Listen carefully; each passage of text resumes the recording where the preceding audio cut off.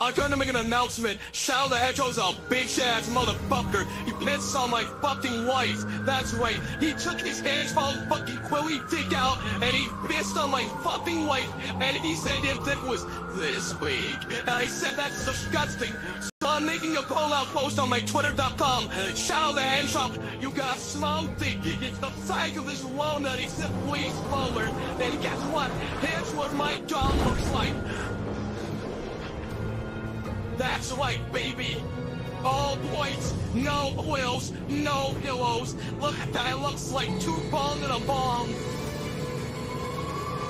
He my wife, so guess what? I'm gonna pop the earth. That's right, this is what you get. I show one way the ass.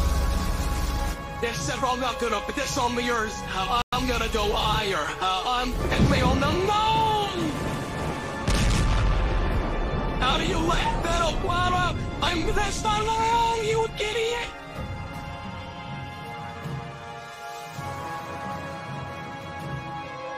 You have 23 hours before the fish drop bullets. Check the fucking on. Now get out of my fucking savior before I that's on YouTube.